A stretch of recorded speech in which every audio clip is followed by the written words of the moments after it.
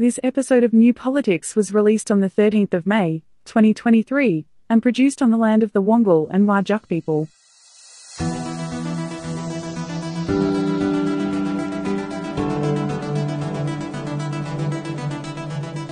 Welcome to New Politics. In this episode, we look at the Budget 2023 announcement and give our analysis. Are CEOs in Australia pay too much? We speak to Rebecca Bachmann about this issue. And when there's a budget, there's also a budget reply. We look at what the opposition has got to say about it. I'm Eddy Jokovich, editor of New Politics. I'm David Lewis, soporific ball. And if you'd like to support New Politics, you can support us through a Patreon subscription. But whether it's a subscription or whether you just want to listen in, read our material online, or buy a t shirt or buy a book, it's all available at newpolitics.com.au. And all of this is a good way to support independent journalism.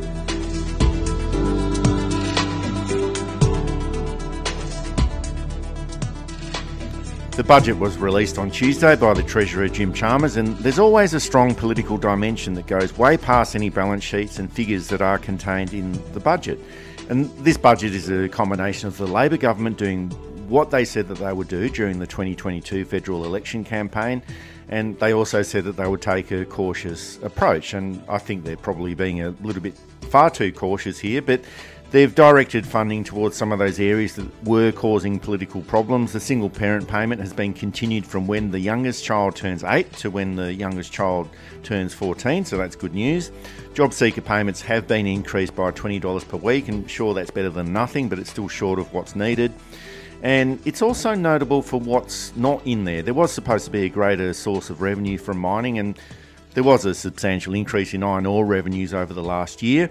But the petroleum resources rent tax was meant to have been improved substantially, but that's only going to raise $2.4 billion over the next four years, so that's not too much. So it is a political budget, but the biggest political aspect to the budget is that it's predicting a $4 billion surplus. So that's cold comfort for the people at the lower end of the scale who are hoping to see more support for them. But it's a budget that offers a good starting point for the future rather than offering any substantial reform economically, it's a decent budget. Looking at it from as broadly as I can and trying to take in every point of view, the government has decided to turn the ship of state slowly. The ship of state turns slowly anyway. And I think that instead of trying to force it to turn faster, they're turning it at a rate that is probably more amenable to fixing if things go wrong. I think you're right in that it could have gone a lot more. I think somewhat disappointing to a lot of people. $20 a week in job seeker. Sure, it is better than a poke in the eye with a broken coat hanger, but it could have been more. The cautious approach probably won them the election, but I think that tends to underestimate the loathing that the last government had in the in the electorate. I think it also didn't really win them the election in the landslide that historically they would have won under different circumstances. They've only got a majority of possibly up to 5 seats depending on factors that we'll discuss later. 5 is okay actually. 5 is a decent number, but it should have been historically speaking 20 they only just scrape in on election night. Economically, though, it shows that they are very good managers. They've got stuff that they have to deal with, defense issues and other promises made, it seems. They've got stuff that they said that they would deal with. And while they've ticked the box on that, they haven't really dealt with it yet. There's another two budgets in this electoral cycle, potentially. I know that one of the major papers was saying there was a double dissolution trigger in something or other coming up. I don't think there'll be a double dissolution. I don't think the Liberal Party wants a double dissolution anytime soon. Oh, well, every government tries to set up a double dissolution trigger for itself. Yeah, yeah, it does. But I, well, I think that in this case, uh, it's to make sure that the budget gets through so that uh, a weak, unpopular opposition will be forced to take in some of the less palatable options it has. I will say too, the media coverage has been disappointing. The endless stream of economists we used to see under Liberal Party budgets, um, and now we're going straight to political analyses. Because I think for a lot of the media, they have to admit that economically, the budget has done very well politically, socially, culturally, I'm not as convinced.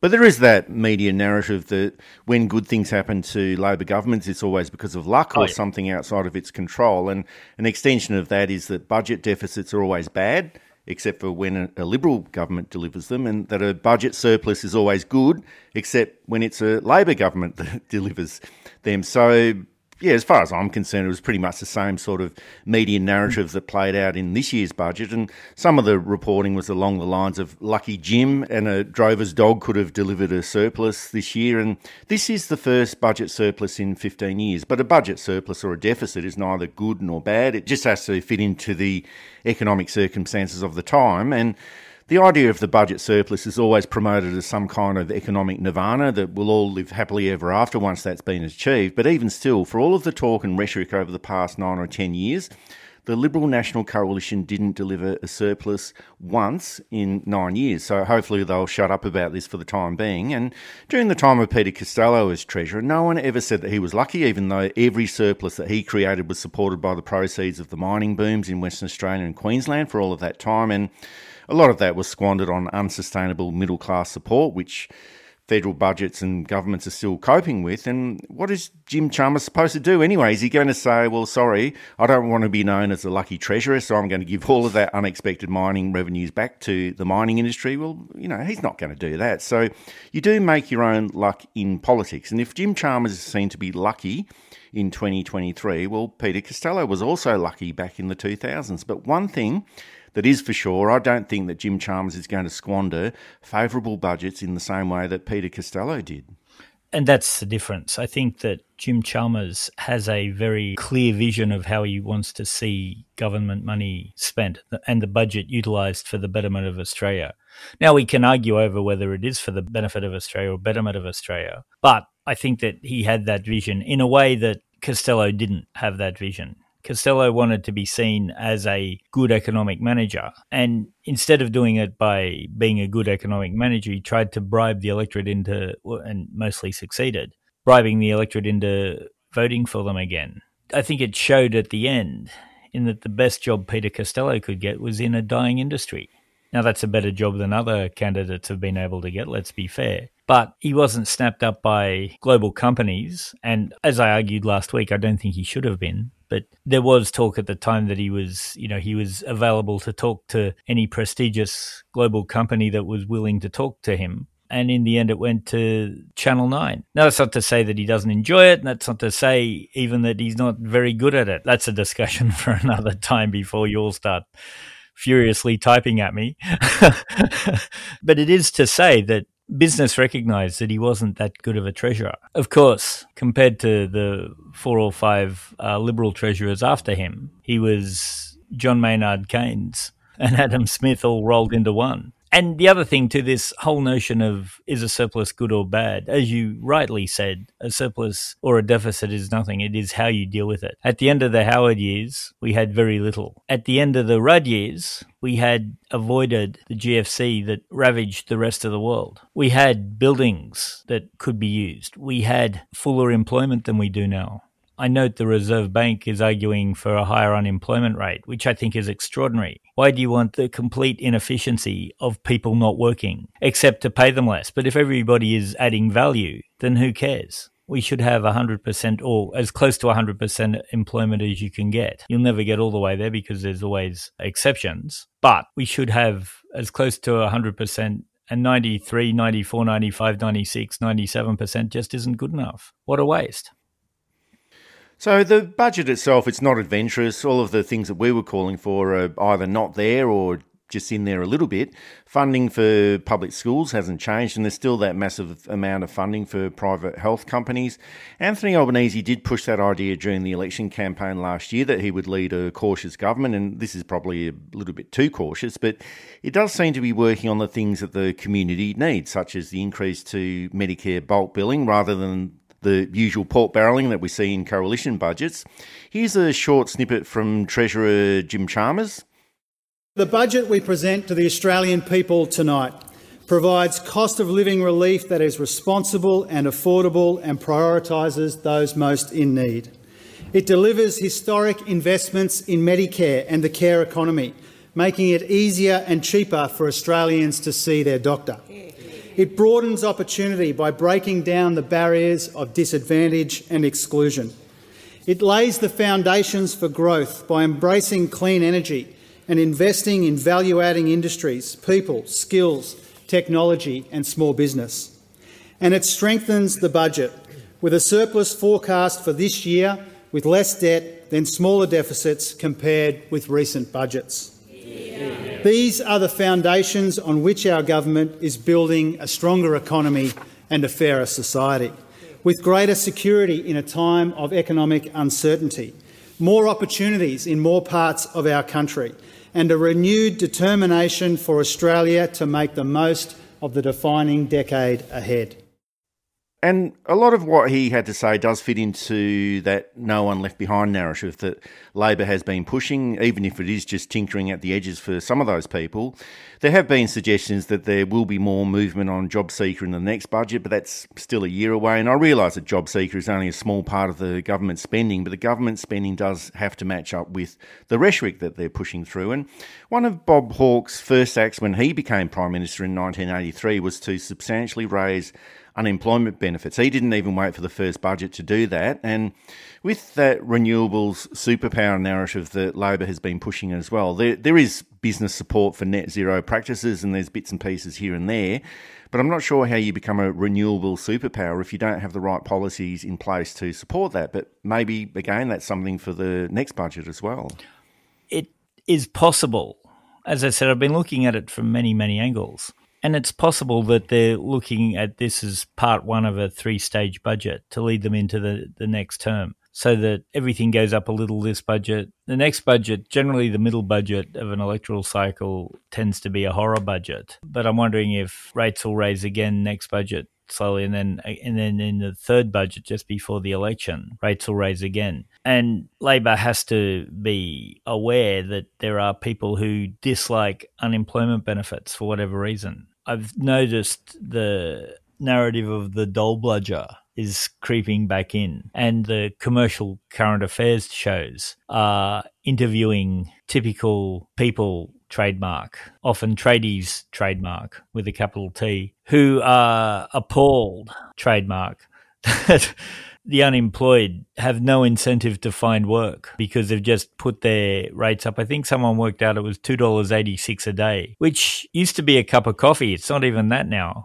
The humiliating and terrible diary system, mutual obligations, where you have to turn up to an interview at the time they tell you whether you can or not. People have had to miss specialist appointments that they'd made months ago because they've got this mutual obligation. It's still a system that has been run and designed by bullies, essentially. And it's another priority that the Labor government has to get stuck into to make it a fair system. I'm not opposed, by the way, to people on unemployment benefits needing to show that they are actively looking for work. People on disability benefits needing to show that they are genuinely disabled. People on old age pension needing to show that they are over the age of 65. It's public money. You do need some kind of accountability, but you can do it in such a way that it raises dignity, that it is genuinely helpful, and that it makes sure that the money is being used constructively, not thrown at people in a form of disgust. And I know it's a big job.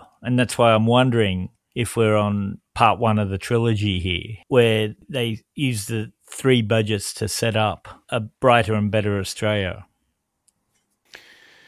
Now, we started off this section by suggesting that budgets are usually all about politics, but this budget seems to be setting up the Labor government for the long term in office. This budget surplus is relatively small, it's around 1% of overall government spending, and it looks like it could be a one off. The next three years are predicted to be in deficit, and as we mentioned before, it doesn't really matter if it's surplus or deficit, it's got to fit into the economic circumstances of the time. But even this one off surplus negates that narrative about the Liberal Party being the better economic manager. And many studies have shown that this is not actually the case anyway, but it's a perception that does remain.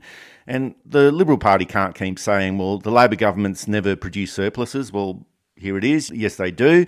And this is after the Liberal National Government was not able to produce or achieve a surplus once they were in government over the past nine years. And all of this creates the groundwork for future budgets and future electoral rewards, I think, for the Labor government. And Labor's now starting to steal the clothing from the Liberal Party. Anthony Albanese has said that the Labor Party is now the party of aspiration, and he said that quite a few times. And I can think I can remember John Howard using those words many, many years ago. And I'm not sure if that means that the Liberal Party will now become the party of the working classes, but we are living in very strange times. Here's the Prime Minister talking about the budget. It should tell people that we're laying the strong foundations for a better future, that we're a government that takes the commitments that we took to the 2022 election seriously, that we're about implementing them, and we're a government with a sense of purpose. Uh, we want to uh, change the country for the better, and the foundations that we laid to deal with the immediate challenges of cost of living pressures that people are feeling.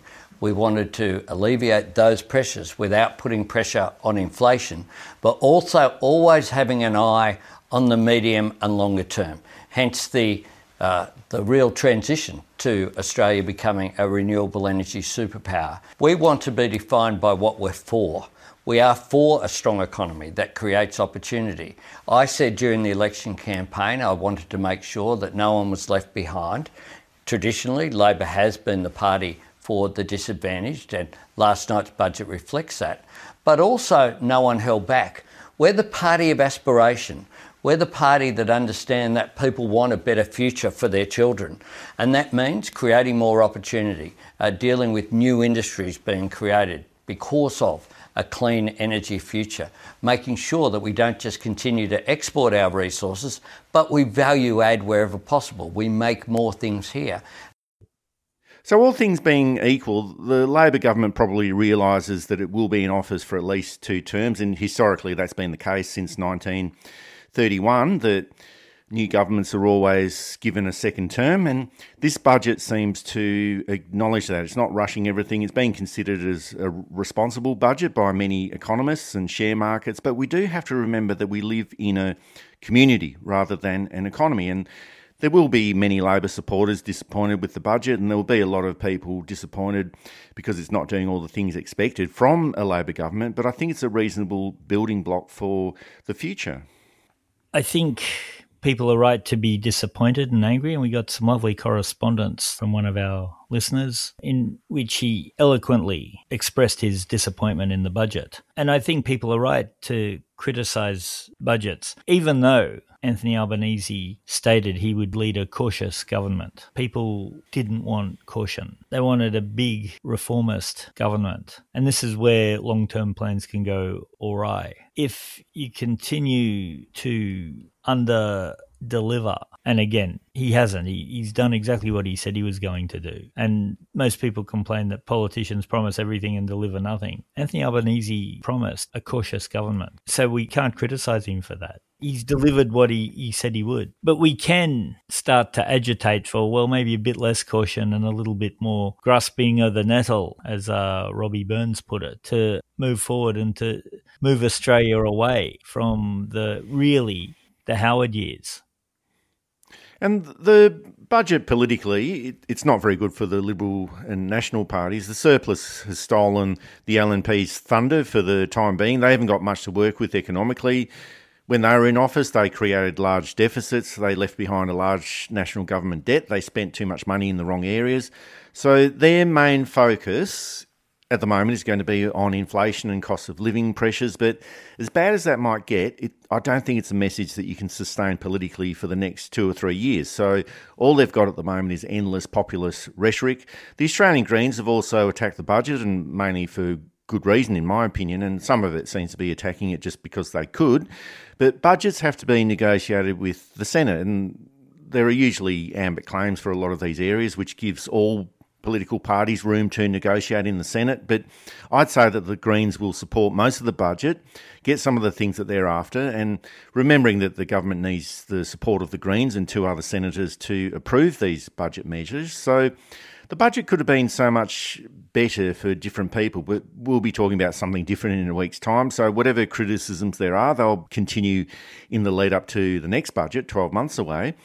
And there was also some conversation that, with hindsight, the 2019 federal election was a good election for the Labor Party to lose. Now, Political parties never think like that. It's always better to win elections and be in government rather than lose and sit in opposition. But I did think this through, and I think there probably is a little bit of merit to this. If Labor had been in government after 2019, they would have racked up the same level of national government debt and budget deficits, and that would have fit into the public perception of the Labor Party being the party of debts and deficits. And then the theory goes that the LNP would have got back into office at the 2022 election and would now be revelling in a budget surplus and be able to say, see, we told you so. We are the better economic managers. And we still have that same mindless rhetoric that we heard from John Howard and Peter Costello for well over a decade after 1996. And of course, this is all theoretical. We'll never know because it never happened. But hopefully, this debate about who's the better economic manager will quieten down over the next few years because we all know that it's not the Liberal and the National parties. I think from a public health point of view, it was a disaster that the Liberal Party won. I think we could have done a lot better with the pandemic than we did. We're still in the pandemic. There are still hundreds of people getting sick every day when there should be next to nobody by now and I think to Australia's position in the world would be in a better place. Uh, looking at it geopolitically, I think we would have had a better standing. We wouldn't have had that awful AUKUS agreement, I don't think, or it would have taken a completely different shape. There's a whole lot of stuff. Scott Morrison could have enjoyed his Hawaiian holiday, for example, at least publicly it's often a double edged sword being government. And yet, no, I don't think there's any prime minister in Australian history, or British history for that matter, or any American president who went in thinking this is my plan for the next four years and didn't have it railroaded by something completely out of the blue and, and unexpected. But it's an interesting thought experiment. If Labor had won in 2019 under a Shorten government, would things have turned out as well for them in 2022? And that's something worth pondering, isn't it? You're listening to New Politics. You can subscribe to us on Apple or Google Podcasts, listen through Spotify, YouTube, SoundCloud, and Amazon Music, or you can find us at newpolitics.com.au. And you can now support New Politics through Patreon.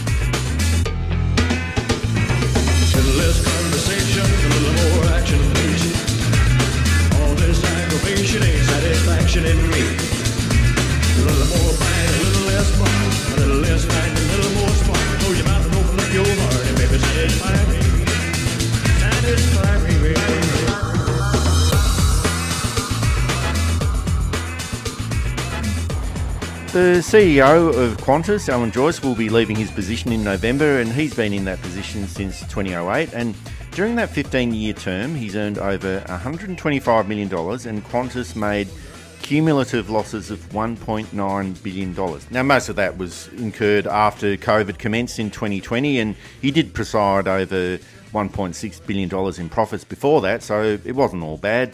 But there is a perception that CEOs in Australia are overpaid, and especially at a time when wages have stagnated over the past decade.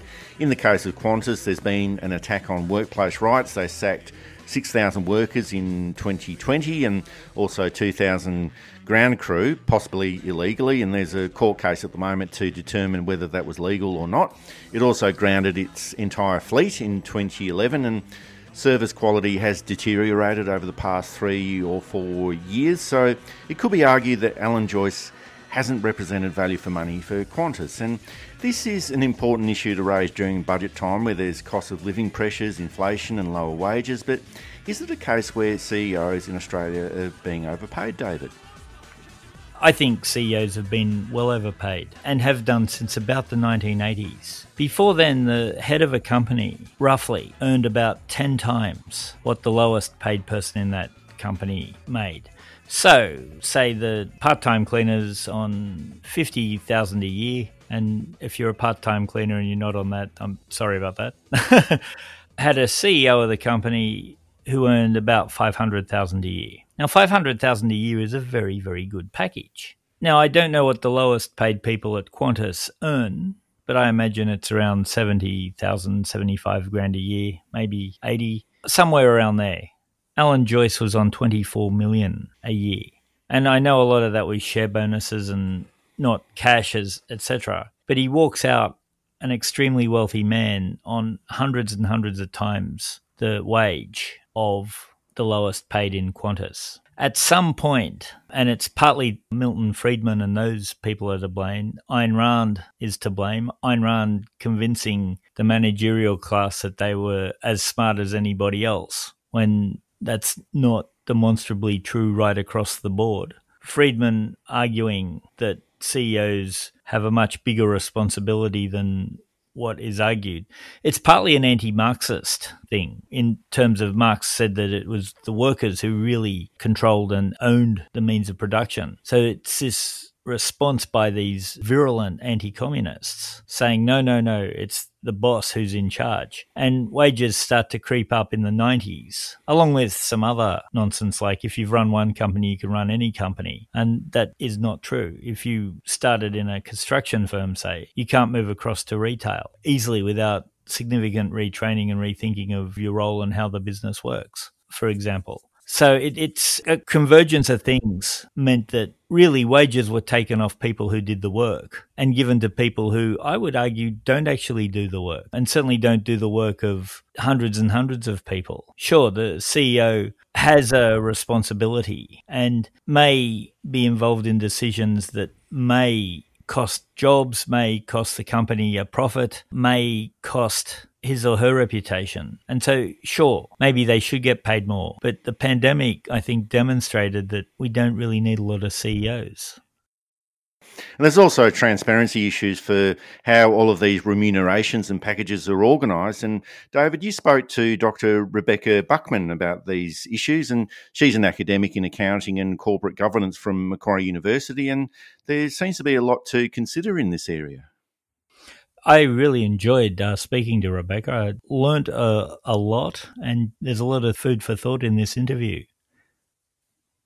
And I'm joined today by Dr. Rebecca Bachmann, a lecturer in accounting and corporate governance at Macquarie University. Thanks for joining us, Rebecca.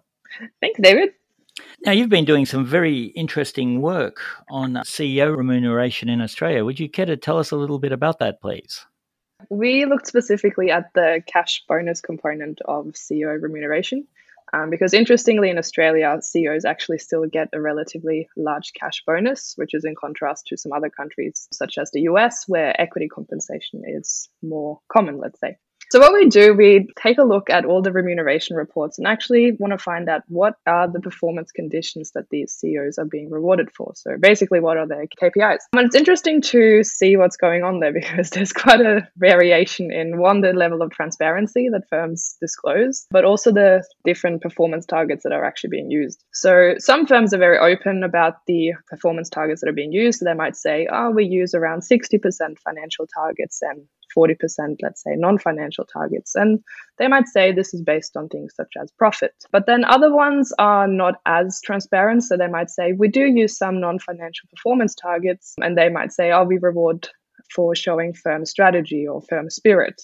Which one perhaps could argue, well, isn't that part of the job description, perhaps? So, yeah, it's quite interesting to see what's going on there. Why do you think they've set it up this way? What benefit does it have to, firstly, companies, then shareholders and employees?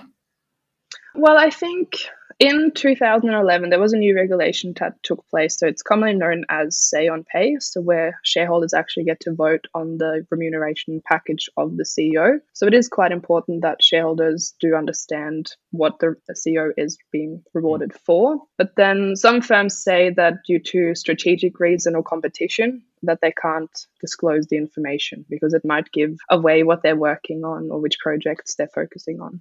Uh, commercial in confidence is used to cover a multitude of sins by the sound of it, not, not just in CEO pay.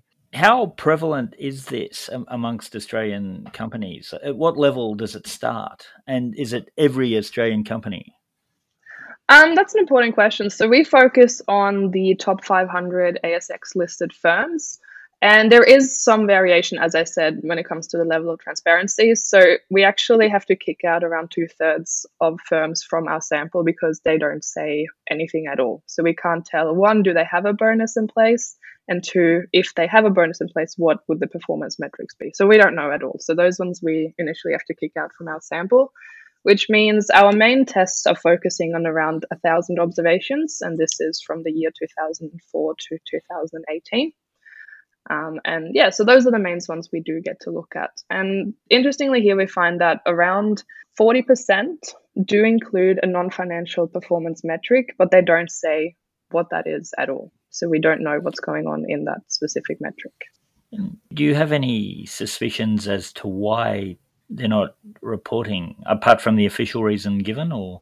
Um, we do try to find out like what's going on. And as i said they do mention they can't disclose this for strategic reasons which could be very much possible. So one thing we try to do is to look at future firm performance because the underlying assumption here could be if it genuinely is a strategic reason and you are working on let's say some products that you don't want to disclose to the market ahead of time then presumably future firm performance should increase when you have those undisclosed performance metrics.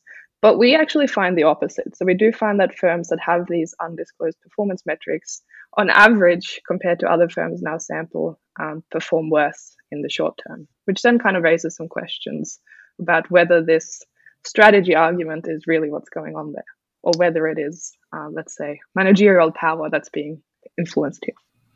I mean, I, I suppose there's an obvious reason as to why, but why hasn't Australia put itself in line with a lot of the rest of the world with more efficient uh, CEO pay, do you think? Um, it's a good question. So it's important to keep in mind that Australian firms are significantly smaller than some of the US competitors. Then, of course, Australia has a large proportion of mining firms. So a lot of these firms are still in the exploration state, which means they don't have revenues yet, and perhaps then the share price isn't going to respond as it would for a more traditional firm, let's say. So there could be a reasonable argument made why they haven't shifted towards equity compensation. And a cash bonus, of course, in terms of preference, at least you get the immediate payoff. So you do what you have been asked to do, and straight away you get your cash bonus. Whereas when it comes to equity compensation, the idea is that hopefully you're aligning compensation practices between the CEO and then mm. shareholders, how they mm. get paid with the share price. A cash mm. bonus can work very efficiently. It just depends on how it's being set up. And I guess that's where we didn't know too much before because the compensation plan is quite extensive um, and quite complex. How should the system be reformed? Good question. I think the initial aspect we think is quite important is just to be transparent so that we know exactly what's going on in there. Um, as I mentioned before, around 40% of these cash bonuses are tied to non financial performance measures. Mm. And those are very important because they can really tie in aspects that a financial metric cannot. So it's important that they're there. But beyond that, we need to know what they actually are so that there can't be some ex post manipulation happening. And we need to have some specific metrics, even within non financial targets. I'm reminded of Bob Hawke's comment back in 85 or 87, where he said that Australia doesn't have a world class CEO running Australian businesses. Sounds like not much has changed. but would it be fair to say that there's maybe some of our senior executives being overpaid? Look, that is an argument that um, I think academics continually try to explore. So, the underlying idea here is that when you get paid, it should be in line with the characteristics of the firm. So, you kind of get into that effective versus excessive pay. And I think the cash bonus itself has more room to be not necessarily aligned with firm performance because as i said those performance targets they are a little bit all over the place. But in saying that they have gotten better over time. And reporting practices do improve significantly over that time period. So initially our sample is relatively small mainly because we can't observe anything as to what's going on. But then over time they do start to get better. Has the improvement come about because there's been a change in the types of firms that have hit the top 500 do you think? Or have, have the old older firms just got better at it for whatever reason um, I think there's a bit of both going on. I'd say, from the literature's point of view, Australia has relatively good corporate governance practices. So, one aspect is in the US, it's quite common for the CEO and the chairman to be the same person. Whereas in Australia, that's one characteristic that we don't observe. So here, generally, the chair is a different individual. The idea here is that maybe we're able to improve independence, then also observing a bit more. We also find that like generally independence of the board has increased over time. So the framework around all of this seems to be improving over time. Um, what we do observe is that quite a lot of CEOs, and this is around one third of CEOs in our sample, they include performance metrics specifically tied to corporate social responsibility, which of course is quite a hot topic at the moment. It's interesting to see then does rewarding the CEO for taking action on CSR does that actually result in real action, or does that just open another can of worms that gives room for manipulation? Uh, which we haven't explored in this paper, but it's something that future studies can look at. That was Dr. Rebecca Bachmann, academic in accounting and corporate governance at Macquarie University. This is the New Politics podcast, available at Apple and Google Podcasts, YouTube, Spotify, and Amazon Music, and you can support us at Patreon, and also find us at our website, newpolitics.com.au.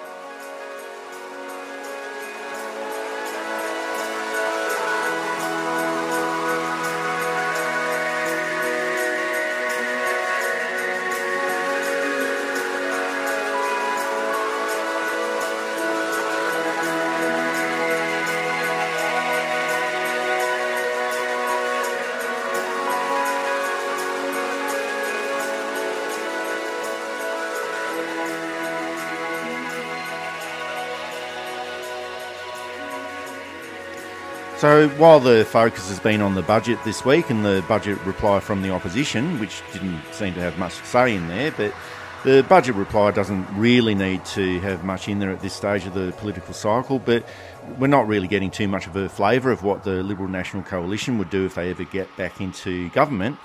But the former government minister, Stuart Robert, he's announced that he will be retiring from politics. The date hasn't been announced yet, but it's more than likely going to be sooner rather than later. He's in the Queensland seat of Fadden, and Queensland is a stronghold for Peter Dutton and for the LNP.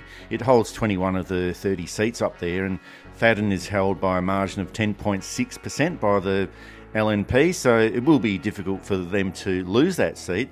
There's also that continuous talk of Scott Morrison leaving politics as well, as we discussed last week, and he's actually taken up an advisory position with the Centre for New American Security, and that's a smaller military think tank based in the United States. And so there will be some changes coming up in federal politics in the near future.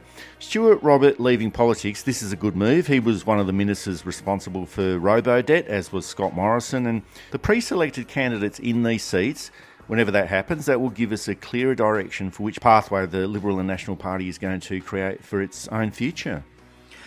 There was a slight glimmer of hope in that Catherine Deves was, I think, basically suggested to not stand for Jim Molan's seat. And they've got a couple of other candidates who are a little bit more moderate. So I'm wondering if there are wiser and cooler heads in the, the Liberal Party who are starting to think maybe this far right wing nuttery isn't electorally good. We've lost seven elections now. Maybe we should try something else it will be interesting to see who they replace Robert with.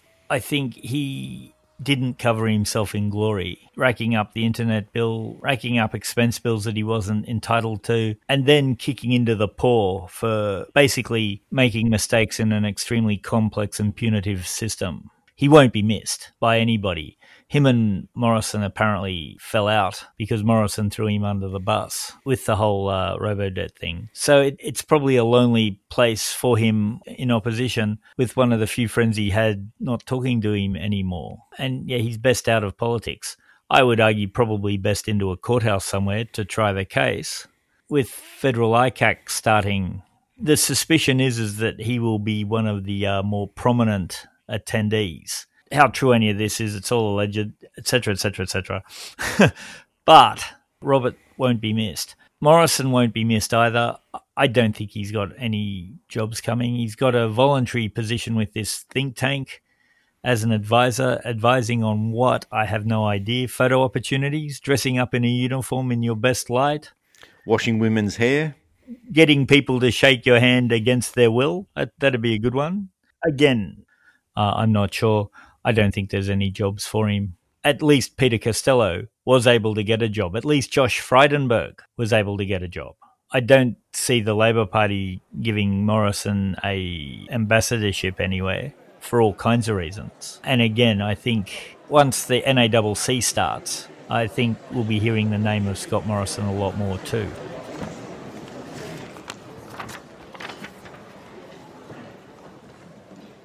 But as we move further away from coalition years, this budget projects that the economic numbers increasingly deteriorate. There's more spending than the government earns, and that's exactly what always gets Labor governments into, tr- into trouble.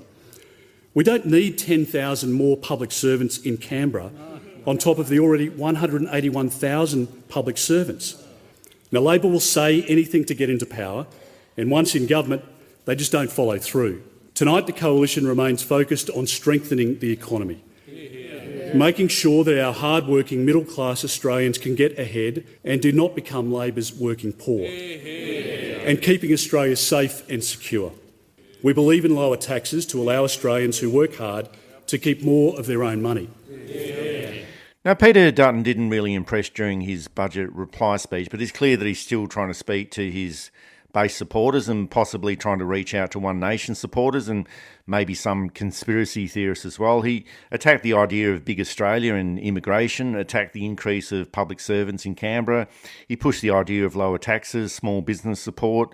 His main three messages are also that Labor has failed on higher power prices. They've created higher unemployment and higher taxes. Now, you might be able to put in an argument about higher power prices, but higher unemployment and higher taxes, not so sure about that, unless he's talking about higher taxes on cigarettes, which is always a good tax if it discourages people from smoking.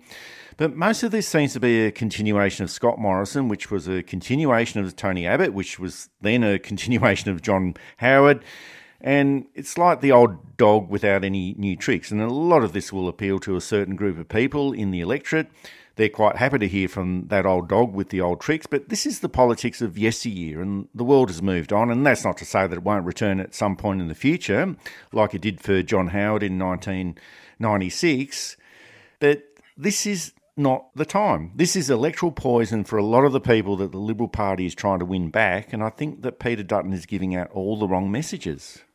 When you look at it demographically, it's disastrous for the Liberal Party. The under 35s, there's basically nobody voting for them. There is a very small percentage of younger voters who will vote Liberal, but it wasn't the 45% that it was in the 1980s or even the 38% that it was in the 1990s, in which meant that there was a basis to build on as people get older and get more conservative and start to think, oh, maybe the Liberal Party. You already had a lot of people who had been voting and been members and been voting for them that they could build on that. It might have skewed old, but it's numbers, not age, that counts. That basis isn't there. And in two or three elections, unless there's a massive change, there's no coming back.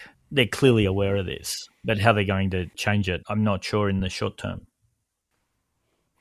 There's also speculation that depending on what happens with the reactions to the budget overall and what happens in the by elections of Fadden and Cook, whenever they do actually happen, the Liberal Party is trying to shore up the deputy leader, Sussan Ley, as an alternative leader. And there isn't actually a push to make her the leader right now, but just to be prepared if Dutton does resign or if things get worse. And she did go on a listening tour several months ago, and this is what leadership aspirants tend to do, and she's been asking more questions in Parliament question time without much luck.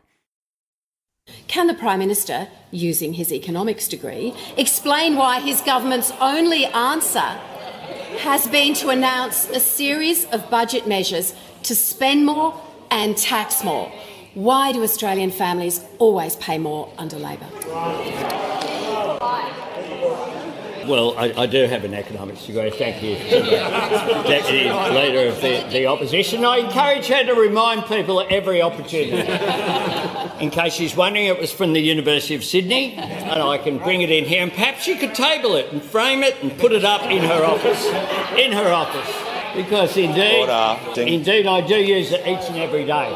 I use it to know to know that indeed inflation had taken off well before Labor took office. Indeed, the largest quarterly rise this century was guess when? March 2022. The largest largest rise in inflation of any quarter this century was on their watch.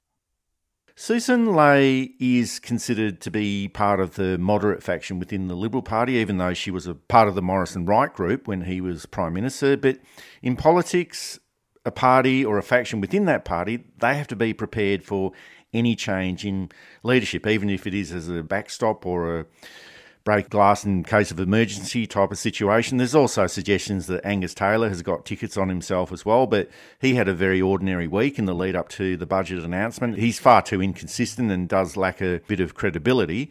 Here's what Jim Chalmers had to say about Angus Taylor.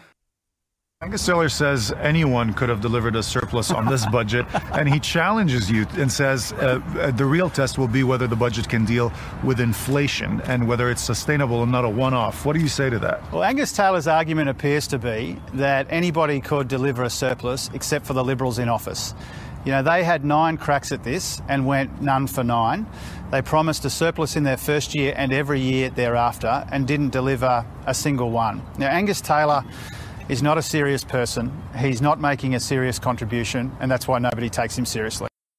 So it's not really the happy times in the Liberal Party at the moment, and we've been saying that for some time. And it looks like they'll have a few more electoral tests coming up over the next few months they're in a bad place. There's no question. They've got a leader who isn't cutting through, to use that unusual phrase. They've got a demoralised front bench. And I must say, I was surprised that Sussan Ley has been suggested as a leader. As we've said before, there's really nobody except for maybe Bridget Archer who could tap into the zeitgeist in a way that would make the Liberal brand electorally acceptable. Sussan Ley, who accidentally bought a unit on the Gold Coast on a business trip that she didn't need to be on. For example, these types of things don't get forgotten and are damaging. She's also not particularly liked in the wider community, and I think that's a factor. Angus Taylor, the second he formed that Cayman Island Water group, that finished him as leader of the Liberal Party, whether he liked it or not. And if there was any doubt, his involvement in the forging of travel documents about the Lord Mayor of Sydney to try and promote his own wife into the position of Lord Mayor of Sydney would have finished him just because he's not competent. It's just insanity. I think Ley is the likely candidate, but really she's just an irrelevancy because whoever's leading the Liberal Party at the moment is going to be an irrelevancy, despite what the media tell us.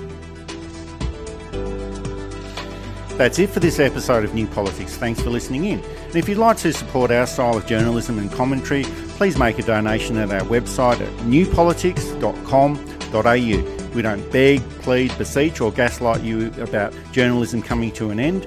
We just keep it very simple. If you like what we do, please send some support our way. It keeps our commitment to independent journalism ticking along. I'm Eddy Jokovich. Thanks for listening in, and it's goodbye to our listeners. I'm David Lewis. We'll see you next time.